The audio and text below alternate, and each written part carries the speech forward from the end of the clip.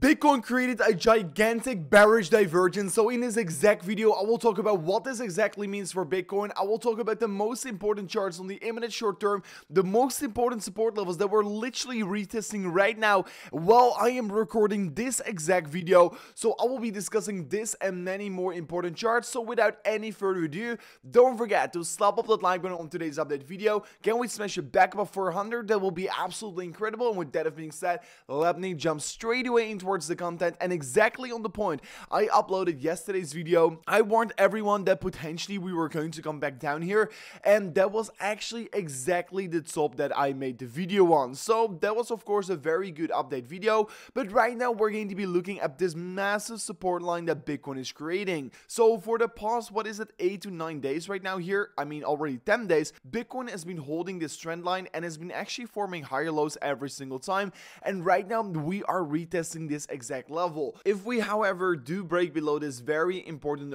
sloping support line for Bitcoin, we could be expecting some more bearish price action is going to get created, and that could lead towards uh, some more bearish price action for Bitcoin. I mean, right now we're literally retesting the symmetrical triangle we created. We created that symmetrical triangle, we broke towards the upside, we were about to be reaching our price target, then moved all the way back down again here retesting this very important support. For the first time, we held on towards it, but now we're breaking below it. So the question really remains, are we going to be holding the upward sloping support line here on the 4 hourly time frame? Because that is going to be the most important support to look at. And honestly, I think the 1 hour time frame here as well is very important since you can clearly see because we've created more than six very clear touch points from of this level. And every single time we've been touching it, we've been bouncing from these levels. So I will be once again looking very closely towards this level because if we remain to be bouncing from of this level right here, I could be expecting the continuation is probably going to be extending for Bitcoin. So Bitcoin is creating a somewhat of a consolidation phase towards the upside right now here. As long as we remain to be holding the support on the lower side, I don't really see a reason to be really panicking on Bitcoin. But once we break below this very important support line, we could potentially see some more bearish price action for Bitcoin. So quickly saying a thing in between here, guys,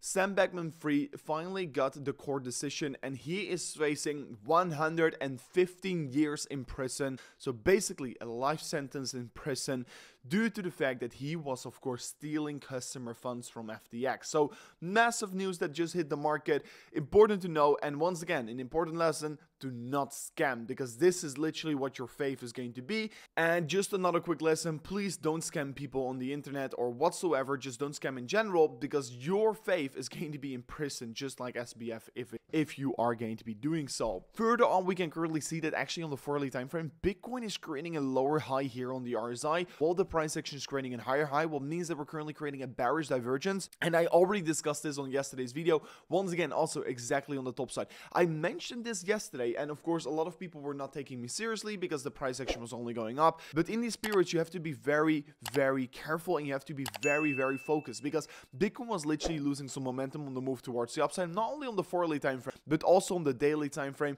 also on the 12 hour time frame, also on the 10 hour. And basically, we were just spotting a momentum loss, and that is why I mentioned it. And actually, since of that point, Bitcoin came down a little bit here, and right now remains to be consolidating in a 34,000 US dollar region. I also yesterday was looking at the chart, and actually, I think we're in a very similar range, like this region right here. Let me go to the daily time frame for Bitcoin. I think we're right now in a similar range, like this region right here. Why? Is because here we also saw that bearish divergence getting created. Bitcoin moved upwards, but then went down, but basically consolidated sideways. I think we're going to get something similar like that, like this, something like this in the price section before then once again creating a gigantic move for Bitcoin.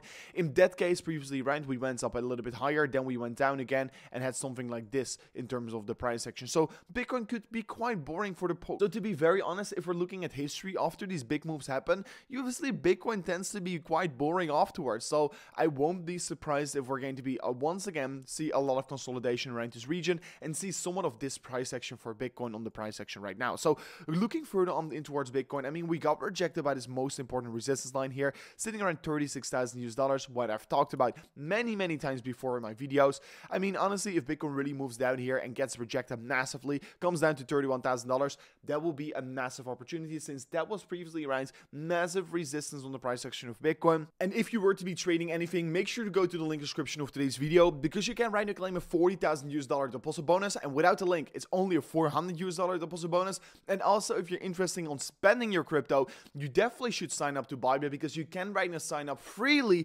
for the Bybit card where you can spend your crypto earnings. So I've got it here, the Bybit card. I can literally spend my crypto using this debit card. So this is absolutely insane. If you're interested in getting that, make sure to also sign up account using that link below, claim that deposit bonus, and get that Bybit card right now. Further on, we can currently see that if we're looking at Bitcoin right now here on the daily time frame, we're looking at somewhat of a momentum loss, right? I just already discussed it. On the daily time frame, we can clearly see Bitcoin is creating somewhat of a bearish divergence, but clearly we're looking to be somewhat at the top side of this move here. So what I'm expecting is probably somewhat of a correction and some more sideways consolidation action.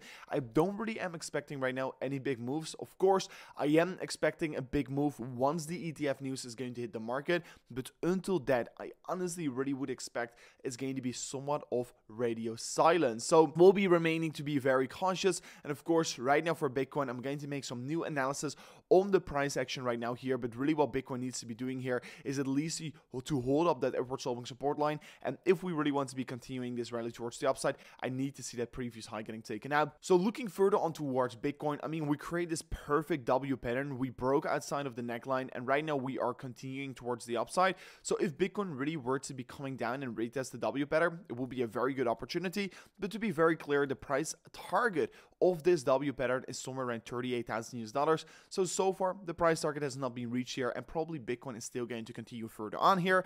But honestly, the biggest resistance for Bitcoin is laying ahead of us around 36.5k. So I'm going to be looking very closely towards that level since that is going to be, in my opinion, the most important level to be paying attention towards. And if we're really going to be looking for Bitcoin on the weekly time frame, we are literally breaking back in towards the bull market territorium like you can currently see. So I am definitely very excited for Bitcoin right now here. I honestly do think that we're right now seeing a gigantic shift in trend here. And honestly, I still think it's probably going to be happening, a potential retest of that 31,000 US dollars. But if that happens, you're literally longing this level that previously ran, provided support in the bull market, flipped into resistance, and that will be a massive, massive opportunity if we were to be opening up any long position around the level. So if Bitcoin really comes down here, I think there will be a lot of buyers over there, but I will be also be one to open up a massive, massive Bitcoin trade here. So I'm going to be looking closely towards that level. Bitcoin right now about to be getting overbought, and historically speaking, once it gets overbought, it tends to stay overbought for a little bit longer. So maybe this move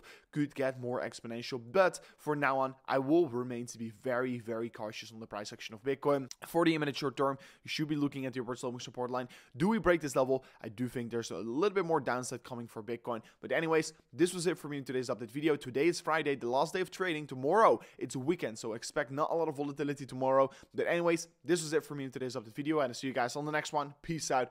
Goodbye.